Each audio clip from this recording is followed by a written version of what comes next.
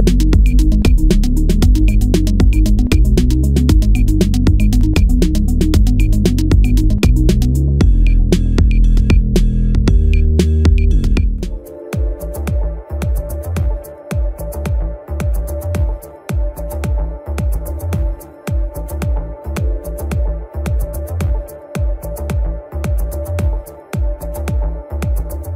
Bueno, de un tiempo para acá, la Universidad del Biobío ha organizado a sus investigadores en, una suerte de programa, grupos de investigación y centros de investigación.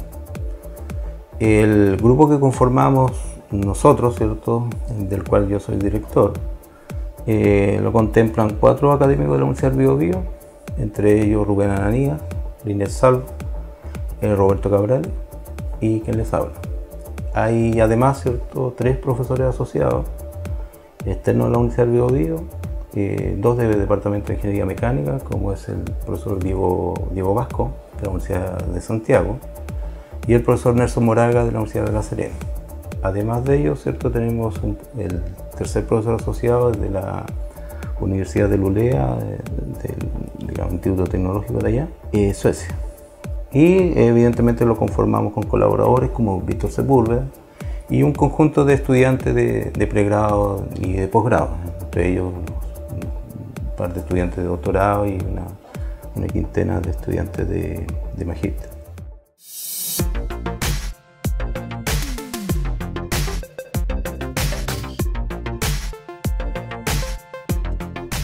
Básicamente el secado eh, consiste en extraer el agua que está contenida en el interior de la madera para poder eh, utilizarla bien con fines industriales, particularmente la construcción en madera que está hoy día muy, muy vigente ¿cierto? en el país. Y eso es, ocurre naturalmente en una determinada pieza de madera, dado su procedencia de un ser vivo que es el árbol. El árbol para poder generar la madera, que su propia sustancia, necesita del agua, que la recoge a partir de las raíces y la conduce a las hojas, donde a través del proceso de fotosíntesis forman los precursores que van a permitir posteriormente que se forme el tejido leñoso, que en el fondo eh, la madera tal como la vemos aquí al lado.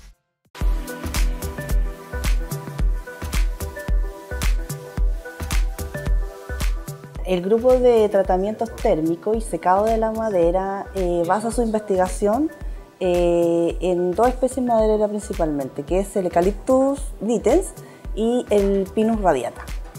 La idea de este grupo es tratar de buscar la actitud secable por un lado del, del Eucalyptus nitens y por otro lado tratar de ver cómo podemos esterilizar de mejor manera el Pinus radiata. Todas las exportaciones chilenas basan su objetivo principal en eh, tratar de ver cómo podemos exportar en calidad sanitizada este pino radiata.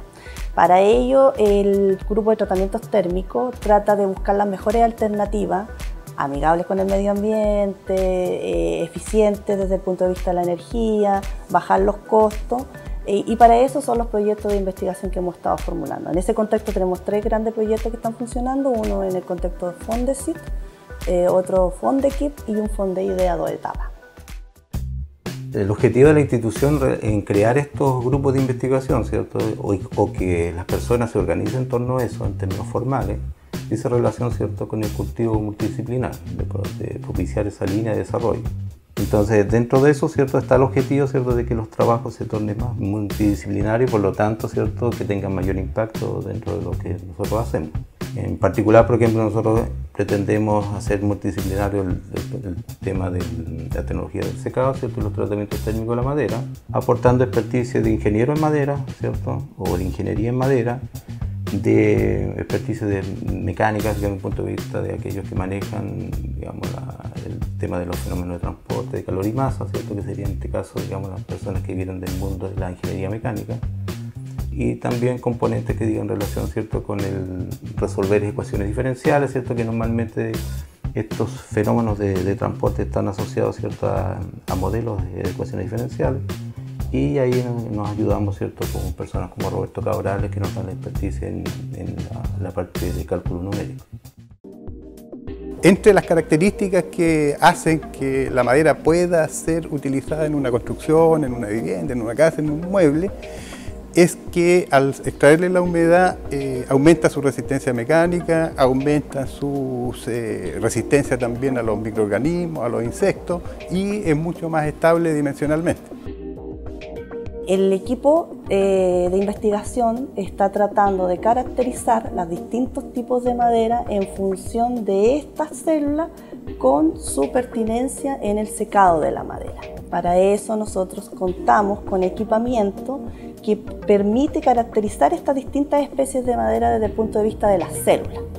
Se sabe por background, se sabe por literatura que las células tendrían esta influencia tanto para el movimiento de los líquidos como para el secado de la madera, en este caso podría ser eh, los tratamientos de preservación o eh, en su defecto como nosotros nos estamos estudiando ahora para el secado de la madera. Lo que pasa es que la actividad de investigación en Chile, ¿cierto? es eh, eh, nace o se, se propicia ¿cierto? a través de fondos concursables. Y el Sistema Nacional ¿cierto? de Investigación y Desarrollo ¿cierto? para nosotros ¿cierto? tiene mm, básicamente 12 fuentes de financiamiento ¿cierto? asociados a ciertos nombres específicos como FONDEF que para, para postular proyectos de investigación y desarrollo, ¿cierto? asociados ¿cierto? con transferencia tecnológica, con transferencia de conocimiento más directamente con el sector productivo. Y otra línea ¿cierto? que le, llaman digamos, este, los proyectos FONDECID, que está asociado ¿cierto? A, a, investigaciones más de carácter básico, que no necesariamente tienen una repercusión directa ¿cierto? con el sistema productivo. Es más de tipo internacional, es más de tipo de conocimiento o desarrollo disciplinario ¿cierto? independiente de los de la, de la repercusión que tenga el sistema eh, productivo.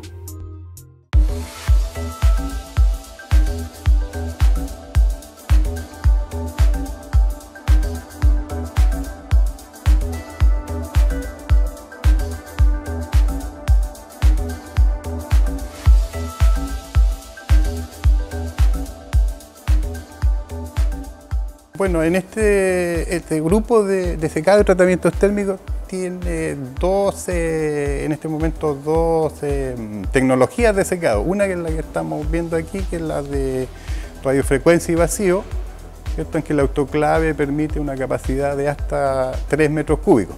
En este momento estamos trabajando a, tres cuartos de la capacidad de, este autoclave, digamos, de, de secado por radiofrecuencia y vacío. En el caso de la otra tecnología que es el secado convencional a alta temperatura y en el cual también podemos llegar a hacer modificación térmica de la madera, podemos trabajar diríamos a temperaturas bajas para secar coihue, eucalipto y eso, desde alrededor de unos 20, 25 grados.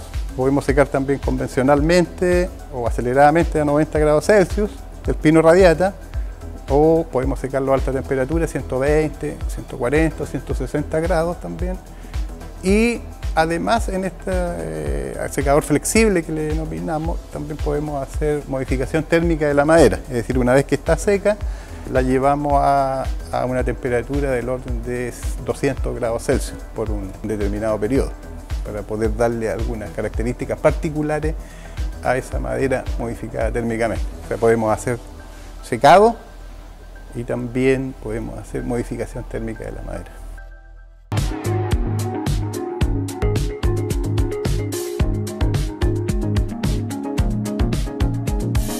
El concepto de anatomía tiene que ver cómo estas distintas especies de madera están constituidas a nivel celular. La idea de estos proyectos se basa en que nosotros tratamos de caracterizar estas especies desde el punto de vista de las células. Estas células tienen una función directa y proporcional tanto en tipología, o sea, ¿qué quiere decir eso? Que en tamaño, ¿cierto? En forma, en distribución. Como la madera es anisotrópica y es tan diferente de una especie a otra, incluso hay diferencia dentro de la misma especie, dentro del mismo árbol, maderas obviamente que vienen de las especies coníferas o de las especies latifoliadas son eh, diferentes en, en esta constitución de células. Por lo tanto, cuando nosotros tratamos de elaborar un proyecto de investigación, esta parte de la anatomía no puede quedar afuera. La caracterización tiene que ir dentro de un proyecto de investigación porque es gravitante dentro del comportamiento de la especie ante el secado o ante el tratamiento que se le dé. Hemos participado más o menos ¿cierto? en una decena de proyectos, más de cinco de ellos de tipo nacional, internacional algunos, y tenemos más o menos unos 50 tipos, diferentes tipos de documentos publicados, dentro de los cuales habrán una, una treintena de, de publicaciones de nivel ICE, nivel de calidad de publicación.